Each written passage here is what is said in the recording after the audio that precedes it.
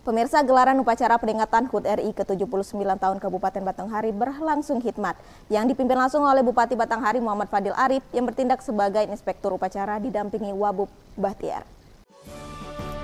Bertempat di lapangan Garuda Alun-Alun Batanghari, 17 Agustus 2024 digelar kegiatan upacara pengibaran bendera merah putih dalam rangka HUT RI ke-79 yang langsung dipimpin oleh Bupati Batanghari M. Padil Arif selaku Inspektur didampingi Wakil Bupati Bahtiar.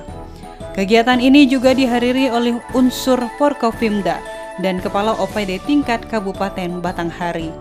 Dikatakan oleh Bupati Batanghari M. Padil Arif, momentum perayaan HUT RI kali ini diharapkan tidak hanya dilakukan secara seremonial saja, namun dimaknai dengan semangat untuk berbakti dan memberikan pelayanan kepada masyarakat.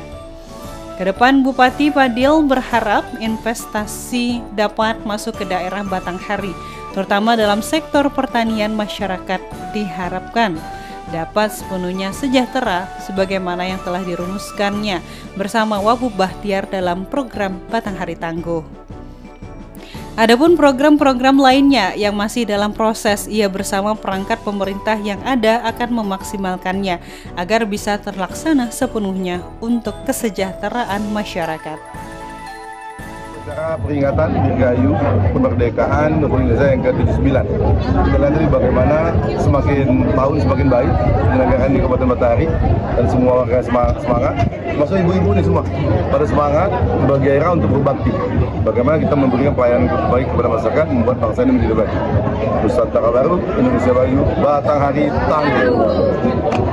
Apa harapan untuk Kabupaten Batanghari ini Pak di 70 Yang pertama harus semakin tangguh. Yang kedua bagaimana masyarakat meningkat kesejahteraan secara cepat. Makanya bagaimana investasi bisa masuk dengan mudah ke Batanghari dan bagaimana petani-petani kita hasilnya maksimal. Kemudian sektor-sektor lainnya bergerak bersama simultan untuk memajukan perekonomian Batanghari. Kita yakin ekonominya maju, Batanghari yang menjadi tangguh dan masyarakat semakin kompak. Target-target yang belum tercapai Pak, kira-kira apa Pak? Target yang tercapai ada beberapa program kita yang sedang on, ongoing Pak ya, yang ongoing yang sedang kita laksanakan seperti Islamic Center ya, yang kita nanti jadikan sebagai pusat-pusat keramaian baru yang akan akan menimbulkan multiplier efek ekonomi, menguntungkan Budian dengan turis. Doakan kawan-kawan semua ini bisa kita laksanakan di tahun ini.